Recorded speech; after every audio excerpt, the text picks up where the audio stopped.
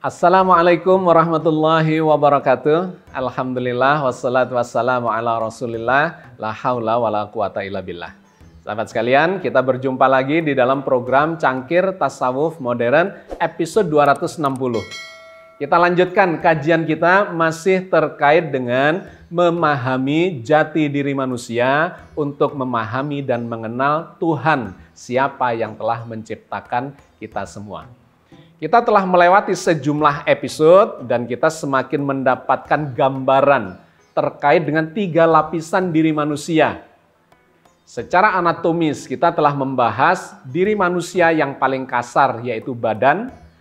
Ada anatomi terkait dengan badan itu yang dipelajari di dalam biologi, dipelajari dalam ilmu kedokteran secara anatomi.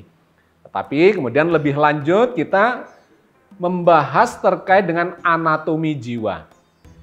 Kita belum selesai membahas anatomi jiwa ini karena itu saya lihat muncul berbagai pertanyaan di dalam forum kita berkomentar dengan segala macam latar belakangnya tetapi saya perlu menyampaikan bahwa memang kajian terkait dengan anatomi jiwa ini belum selesai. Dan yang ketiga nanti ujungnya adalah terkait dengan lapisan yang paling halus, yaitu yang disebut sebagai roh. Sahabat sekalian, beberapa pertanyaan yang muncul di dalam forum kita akan kita bahas satu persatu. Terkait dengan badan sudah kita bahas. Terkait dengan jiwa sedang kita bahas. Kemudian muncullah sejumlah pertanyaan yang saya kira akan kita jawab satu persatu dikarenakan memang setiap episode kita hanya memiliki durasi kurang lebih 30 menit. Nah, beberapa pertanyaan yang akan kita jawab satu persatu adalah yang pertama, ada yang mempertanyakan, kalau jiwa itu berada di otak, maka kaitannya jiwa dengan jantung yang sering disebut sebagai hati itu seperti apa?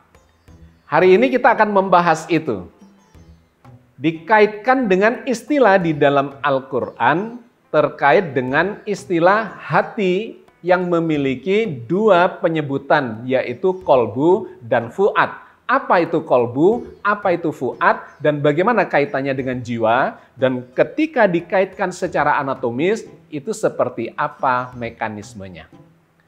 Pertanyaan lain lagi yang ada di dalam forum kita, ada yang mempertanyakan begini, Pak Agus, kalau Pak Agus membuat analogi antara manusia dengan robot dan kemudian menggambarkan secara mekanistik tentang diri manusia di mana jiwa yang ada di otak kita itu memiliki mekanisme mengendalikan seluruh badan kita melalui tiga mekanisme, yaitu yang pertama mekanisme hormonal, yaitu secara kimiawi, yang kedua adalah secara kelistrikan yang disebut sebagai mekanisme neurotransmitter. Dan yang ketiga adalah mekanisme radiasi pancaran gelombang elektromagnetik. Kalau kemudian manusia hanya digambarkan semacam itu secara mekanistik, lantas apa bedanya dengan robot? Sebetulnya sudah saya singgung di episode yang lalu bahwa perbedaan manusia dengan robot itu adalah pada kesadarannya. Kalau dibahas secara anatomi, memang mirip antara keduanya. Badan robot adalah mesin yang kemudian kita bisa analogikan dengan badan manusia yang bersifat fisikal, jasad. Strukturnya sangat canggih, dua-duanya ya kurang lebih sama. Tetapi benda mati. Yang kedua, pada robot ada yang disebut sebagai software. Kalau tadi hardware, maka ada software sebagai fungsi dari kinerja robot itu. Pada manusia, itu analoginya adalah jiwa. Semacam software juga karena bisa diinstal. Sebuah skill kehidupan, baik itu secara motorik, secara akhlak, atau mental, atau moral, dan sebagainya, kejiwaan, bahkan keterampilan berpikir dan sebagainya itu bisa diinstalkan melalui pendidikan, melalui pengalaman, melalui latihan. Maka analoginya kurang lebih sama. Jiwa itu kurang lebih sama dengan software di dalam robot itu. Tetapi yang ketiga, ini yang menarik, yang membuat dia berbeda. Pada robot itu ada energi kehidupan yang diambil dari listrik. Bisa baterai, bisa listrik AC, ya, dari PLN atau sumber listrik apa pun, itu adalah robot. Tetapi pada manusia, sumber kehidupan itu lebih kompleks yang disebut sebagai roh. Di sinilah kemudian letak perbedaan yang sangat mendasar yang nanti akan kita kaji di episode yang berbeda terkait dengan kesadaran Robot tidak memiliki kesadaran seperti manusia yang memiliki kesadaran sangat mendalam. Nah, kemudian kaitannya dengan penciptanya. Kalau robot ujung-ujungnya ketemunya dengan pencipta robot yaitu manusia. Tetapi kalau manusia ujung-ujungnya akan ketemu pencipta manusia yaitu Allah Azza wa Jalla. Oke, ini gambaran yang bersifat umum terlebih dahulu, nanti akan kita dalami di episode yang berbeda. Karena di forum kita ada yang mempertanyakan, Pak Agus ini tidak konsisten ketika menjelaskan tentang jiwa, di mana jiwa itu seharusnya independen, tidak bergabung, tidak menyatu dengan badannya dalam arti jiwa itu adalah pengendali, driver, sopirnya, sedangkan badan itu adalah kendaraannya, ibaratnya mobilnya. Mestinya jiwa itu bersifat independen. Oke, nanti ini akan kita kaji di episode yang berbeda. Karena terjadi misleading di dalam memahami soal ini. Inilah pentingnya kita memahami manusia secara lapis demi lapis dan di akhirnya nanti kita akan membuat kesimpulan secara komprehensif dan secara holistik. Hari ini kita masih akan menjelaskan bagian-bagian yang penting terkait dengan anatomi jiwa. Di mana Al-Quran menggambarkan bahwa jiwa manusia itu memiliki bagian yang disebut sebagai kolbu. Diterjemahkan sebagai hati. Kemudian dipertanyakan, hati itu yang mana? Apakah hati itu jantung ataukah hati itu liver? Lantas bagaimana kaitannya antara otak yang disebut sebagai representasi dari jiwa dengan jantung yang disebut sebagai hati dan kemudian di Al-Quran digambarkan sebagai kolbu. Oke sahabat sekalian, saya kira penting bagi kita untuk merujuk terlebih dahulu ke dalam Al-Quran Al-Karim untuk mendapatkan clue, gambaran, bimbingan terkait dengan anatomi jiwa itu. Ada dua istilah terkait dengan hati yang bersumber dari dalam Al-Quran Al-Karim. Yang pertama yang disebut sebagai kolbu. Yang kedua yang disebut sebagai fuad. Nah ini sering kali membuat rancu dikarenakan ketika diterjemahkan dalam bahasa Indonesia, dua-duanya disebut sebagai hati. Tetapi kalau kita membaca ayat-ayatnya, maka kita akan mendapatkan stressingnya, penekanannya, fokusnya ke arah mana. Meskipun dua-duanya mungkin secara umum bisa dikatakan sebagai hati itu.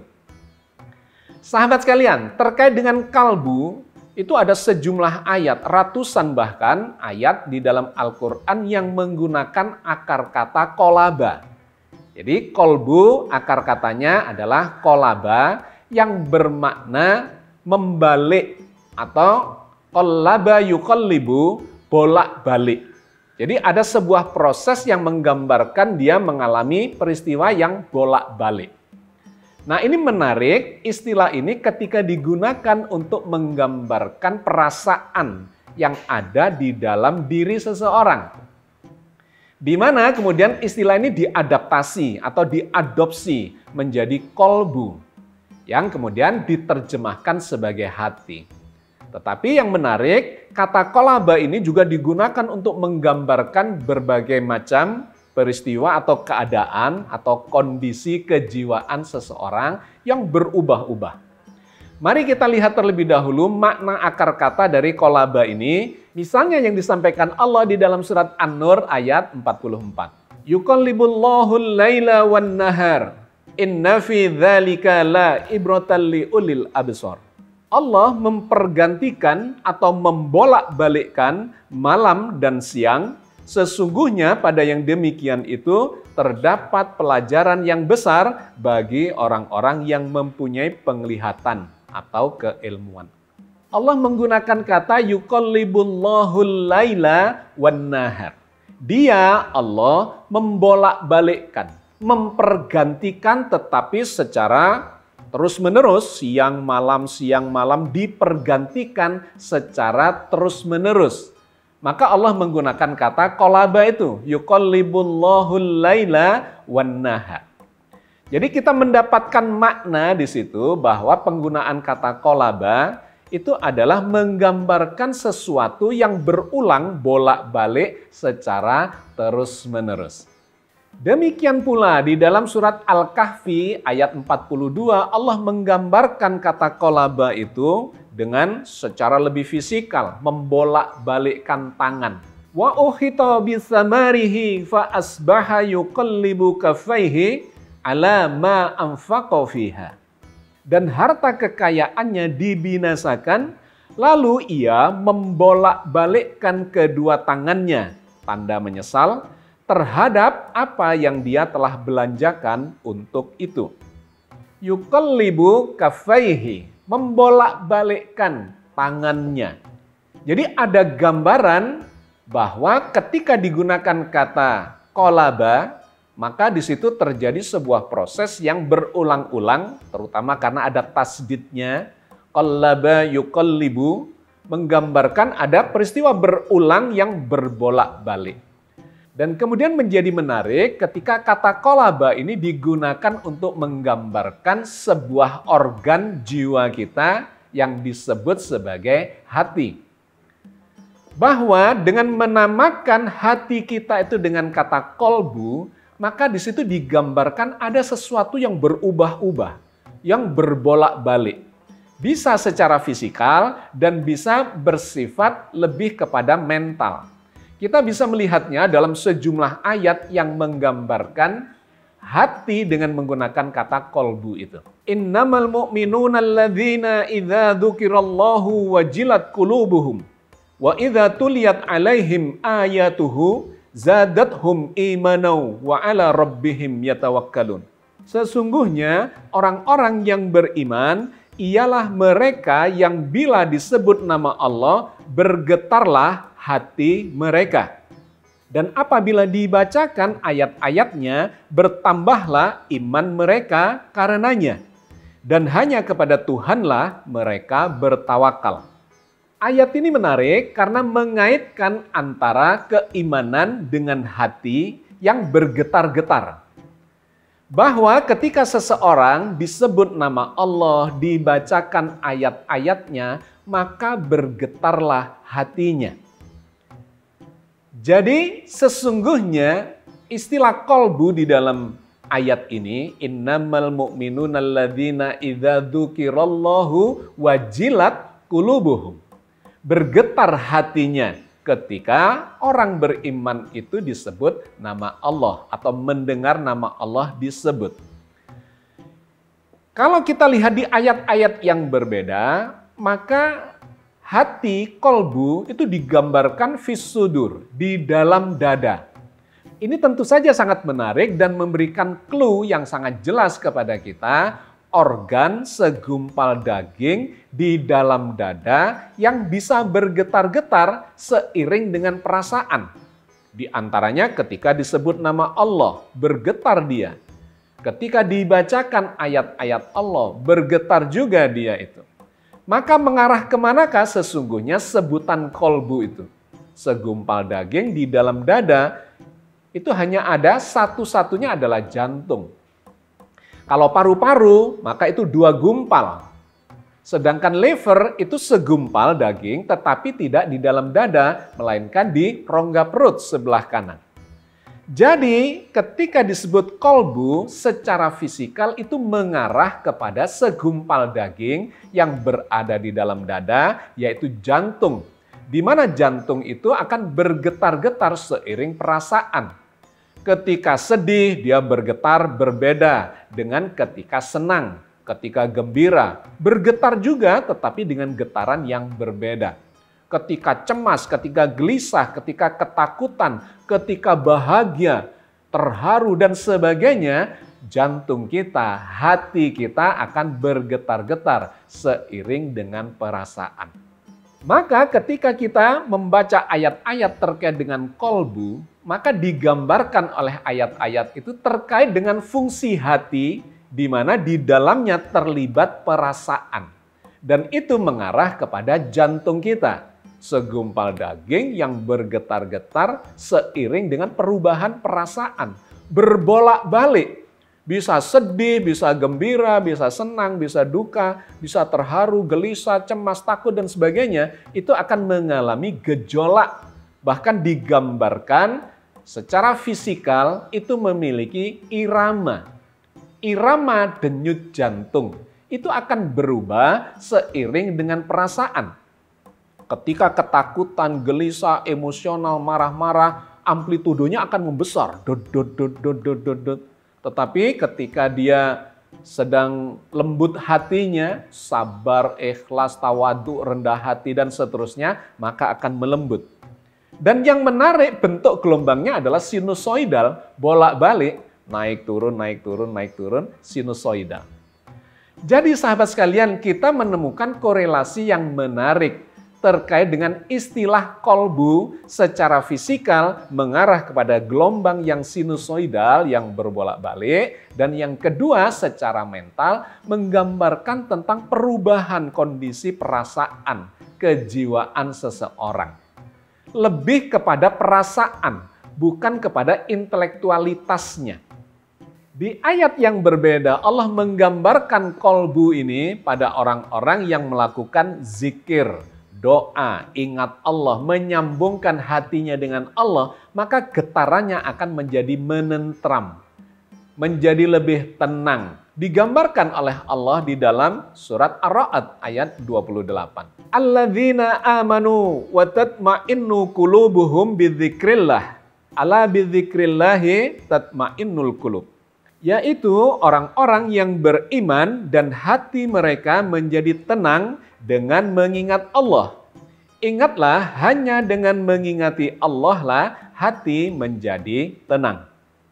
Ayat ini menarik karena mengaitkan keimanan, ketenangan, ketentraman secara kejiwaan dikaitkan dengan kolbu yang memiliki dua dimensi itu. Secara fisikal, dia akan bergejolak secara semakin menentram, gelombangnya, amplitudonya menjadi lebih halus, lebih lembut. Tetapi di sisi lain ada perasaan secara mental, kejiwaan juga menjadi lebih tenang, menjadi lebih damai, menjadi lebih ikhlas, menjadi lebih sabar. Ala bidzikrillahi tatmainul qulub. Ketahuilah hanya dengan zikir kepada Allah, ingat Allah, maka manusia akan menjadi tenang, menjadi tentram hatinya. Nah, yang menarik di ayat yang berbeda Allah menggunakan istilah fuad untuk menggambarkan hati. Tentu saja karena istilahnya berbeda, maka pemahamannya, penekanannya tentu berbeda pula meskipun diterjemahkan sebagai hati. Misalnya yang disampaikan Allah di dalam surat Al-An'am ayat 110. Wa nuqallibu af'idatahum wa absarahum kama lam yu'minu bihi awwala marrati wa nadharuhum fi tughyanihim ya'mahun. Dan begitu pula kami memalingkan hati dan penglihatan mereka seperti mereka belum pernah beriman kepadanya pada permulaannya dan kami biarkan mereka bergelimang dalam kesesatannya yang sangat. Ayat ini sangat menarik karena menggunakan dua istilah sekaligus. Wa nuqallibu af'idatahum wa.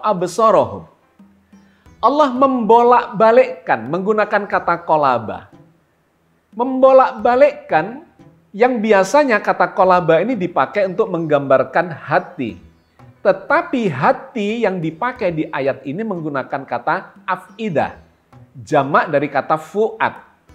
Fu'ad itu adalah hati. Af'idah adalah jamak dari hati karena memang menunjuk kepada mereka. Tetapi menariknya adalah Allah menggunakan kata wanuqallibu af'idatahum. Allah membolak-balikkan bukan kolbunya tetapi afidahnya atau fuadnya. Nah, kata fuad ini dalam berbagai ayat digambarkan sebagai kecerdasan hati.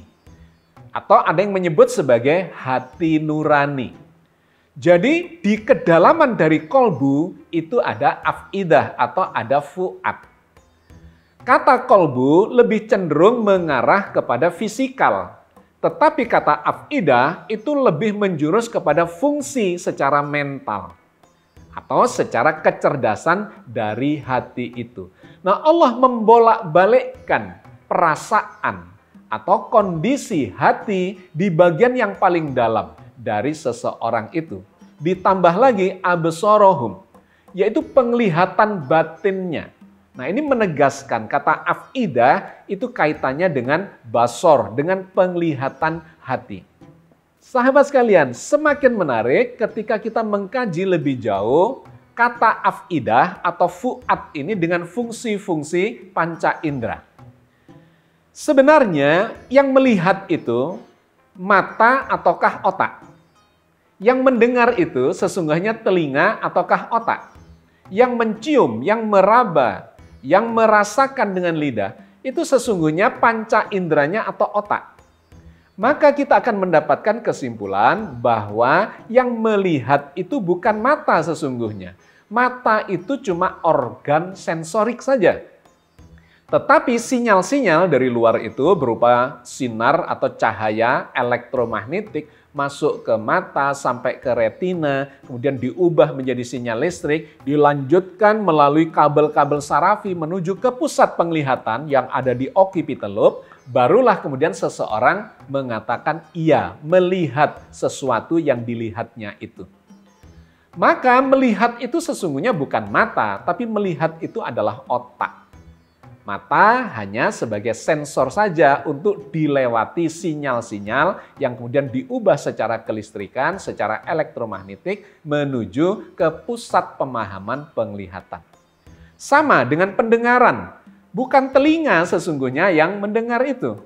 Mata rusak bisa diganti dengan kamera, telinga rusak bisa diganti dengan alat bantu dengar. Tetapi kalau pusat pendengaran, pusat penglihatan yang rusak, maka dia tidak bisa mendengar, dia tidak bisa melihat, meskipun matanya masih bagus, telinganya juga masih bagus.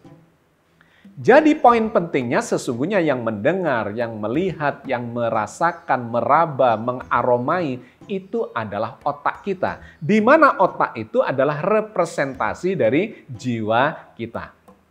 Oke, sahabat sekalian, ketika ini dikaitkan dengan fuad, maka kita mendapatkan analogi yang sama. Kolbu itu lebih bersifat semacam sensorik itu dan kemudian dilanjutkan ke dalamnya lebih jauh yaitu ke fuad. Di mana fuad itu? Fuad itu berada di otak. Dikarenakan jiwa kita memang berada di otak itu. Otak itulah yang merepresentasikan jiwa kita dan dialah yang melihat, mendengar, merasakan, mencium, mengaromai dan sebagainya dan sebagainya. Maka secara ringkas kita bisa mengatakan kalau kolbu itu menunjuk kepada jantung dengan dualitas sifatnya, yaitu getaran fisikal dan perasaan yang tergambar di jantung itu, tetapi pemahaman atas getaran itu sesungguhnya berada di otak kita, yaitu di sistem limbik kita. Jadi fuad itu berada di dalam otak kita.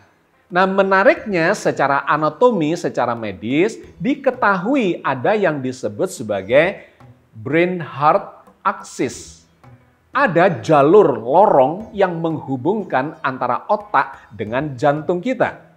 Setiap peristiwa yang terjadi di otak kita, sinyal-sinyal kelistrikan, baik intelektualitas maupun emosional, perasaan, maka dia akan langsung terhubung ke jantung kita.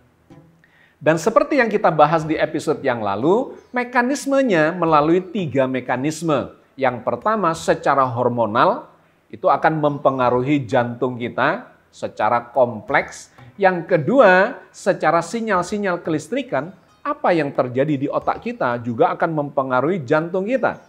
Dan yang ketiga adalah secara radiasi gelombang elektromagnetik. Maka perasaan itu sesungguhnya terjadinya di otak. di sistem limbik. Memorinya disebut sebagai amigdala.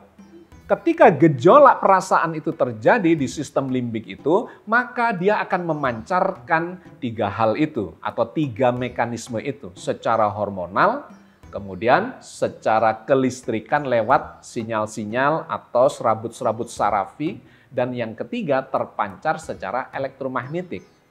Maka emosi itu muncul di otak emosi, marah, sedih, terharu, segala macam, tetapi kemudian jantungnya itu ikut berdebar-debar. Dikarenakan memang sesungguhnya peristiwa atau perasaan yang terjadi di otak itu adalah peristiwa elektromagnetik. Sinyal-sinyal kelistrikan. Hipotalamusnya memerintahkan kepada kelenjar-kelenjar yang ada di kelenjar pineal maupun yang ada di pituitary untuk menghasilkan hormon iya tetapi secara langsung dia juga menghasilkan perubahan sinyal kelistrikan. Dan juga secara langsung juga menghasilkan pancaran radiasi gelombang elektromagnetik. Semua itu kemudian terrefleksi di jantung itu melalui apa yang disebut sebagai poros otak jantung atau brain heart axis. Nah, lebih jauh lagi semakin menarik jantung itu memiliki medan elektromagnetik, otak juga memiliki medan elektromagnetik, tetapi perbandingannya itu jauh sekali. Medan elektromagnetik di otak kita jauh lebih kecil dibandingkan dengan yang ada di jantung kita. Medan listrik jantung itu kurang lebih 100 ribu kali lipat dibandingkan dengan medan listrik yang ada di otak. Sedangkan medan magnet yang ada di jantung itu kurang lebih 5000 kali lipat dibandingkan medan magnetik yang ada di otak. Tapi kedua-duanya bisa diukur. Yang otak itu bisa diukur dengan menggunakan peralatan EEG, elektroencephalograph, secara kemagnetan dan secara kelistrikan. Jantungnya juga bisa diukur secara kemagnetan dan kelistrikan dengan EKG atau ECG, elektrokardiograf. Tetapi kelistrikan yang ada di jantung itu 100 ribu kali lipat dibandingkan dengan di otak dan secara kemagnetan yang di jantung itu 5000 kali lipat dibandingkan di otak. Maka secara radiasi elektromagnetik kita mendapatkan gambaran ternyata jantung itu menjadi amplifier dari otak kita. Semua yang terjadi secara elektromagnetik di otak itu akan diamplify, diperkuat 100 ribu kali lipat secara kelistrikan dan 5 ribu kali lipat secara kemagnetan. Sehingga ini akan memancarkan denyutan-denyutan yang sebetulnya sumbernya ada di otak, tetapi di sini diamplify menjadi ribuan atau ratusan ribu kali lipat maka perasaan yang sesungguhnya terjadi di otak itu rasanya jadi di dada. Dikarenakan denyutannya itu sudah diamplify sedemikian kuatnya oleh jantung kita. Maka kalau kita merasa sedih, merasa terharu, merasa gembira, merasa segala macam dinamika perasaan, itu rasanya ada di jantung kita. Di mana denyutannya akan berubah-ubah seiring dengan perasaan itu. Bahkan kemudian bisa diukur medan elektromagnetik jantung itu bisa keluar sampai di sekitar kita, di luar tubuh kita, ada yang satu meter, ada yang dua meter, bergantung pada kemampuan atau power dari seseorang itu. Otak juga memancarkan, jantung juga memancarkan. Dua-duanya memancarkan medan elektromagnetik. Jadi sahabat sekalian, sampai di sini kita sudah mendapatkan gambaran bahwa jiwa itu sesungguhnya ada di otak dengan medan elektromagnetiknya yang relatif lebih lemah dibandingkan dengan jantung. Tetapi fuad itu, sumber kecerdasan dari seluruh jiwa itu memang berada di otak, bukan berada di jantung. Lantas apa fungsi jantung? Fungsi jantung adalah mengamplify getaran yang ada di otak kita menjadi getaran yang lebih kuat secara elektromagnetik itu munculnya ada di jantung kita. Karena itu di dalam Al-Quran sebutannya dua yang diterjemahkan sebagai hati. Yang pertama adalah kolbu, segumpal daging di dalam dada yang bisa bergetar-getar seiring perasaan. Dan yang kedua adalah fuad, yaitu kecerdasan hati. Di mana ini dikaitkan atau disetarakan dengan penglihatan, bukan dengan mata. Juga disetarakan dengan pendengaran, bukan dengan telinga. Kalau mata dan telinga itu sifatnya adalah fisikal, tetapi kalau penglihatan dan pendengaran itu sifatnya adalah fungsional. Hati yang fuad itu adalah fungsi lebih dalam daripada kolbu yang lebih bersifat fisikal. Maka kita mendapatkan gambarannya dari firman Allah di dalam Al-Quran Al-Karim di surat An-Nahl ayat 78. Wallahu ahrajakum min butuni ummahatikum la ta'lamuna syai'aw wa ja'ala lakumus sam'a wal absara wal af'idah la'allakum tashkurun. Dan Allah mengeluarkan kalian dari perut ibu kalian dalam keadaan tidak mengetahui sesuatu pun, dan dia memberi kalian pendengaran, penglihatan, dan hati atau fuad agar kalian bersyukur. Wa ja'ala lakumus sam'a wal absor wal af'idah. Jadi Allah menganalogikan antara pendengaran dengan penglihatan dengan hati tapi menggunakan istilah afidah yaitu kecerdasan hati atau fungsi dari kolbu. Sahabat sekalian, saya kira kita cukupkan dulu sampai di sini karena durasi. Insya Allah di episode-episode berikutnya semakin kita perdalam terkait dengan anatomi jiwa, kemudian kepada roh, dan akhirnya bagaimana menyambungkannya kepada Allah Azza wa Jalla. Mudah-mudahan Allah senantiasa membimbing kita di atas jalan yang diridhoinya. Amin ya rabbal alamin. Assalamualaikum warahmatullahi wabarakatuh.